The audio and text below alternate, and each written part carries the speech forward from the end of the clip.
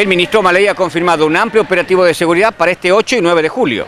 Está todo planificado ya, en, ¿no es cierto?, para llevar adelante la- las actividades de seguridad para los festejos del 9 de julio. Casualmente mañana tenemos una reunión en el Ministerio de Seguridad para coordinar últimos detalles, ¿no es cierto?, hacer sus exposiciones y conocer también la situación en general, este, fuera lo que hace en sí a la, seguridad en sí, ¿no es cierto? Pero bueno, hasta ahora este, nuestras previsiones eh, son de una jornada realmente de, festejos, como corresponde para el aniversario de nuestros 202 años de la independencia y particularmente Tucumán, donde nació el país. ¿eh?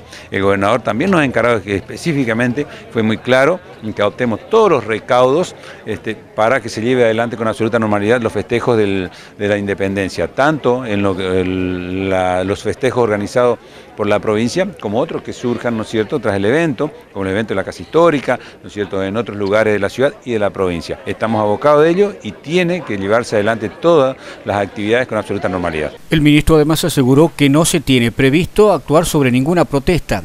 No tenemos registrado, o sea, tomamos la- las precauciones del caso, conocemos las realidades, ¿no es cierto?, que existe con las distintas posibilidades que se puedan dar, la evaluamos, tomamos las previsiones, pero hasta ahora este, no estamos manejando con una fecha, ¿no es cierto?, de festejos con absoluta tranquilidad.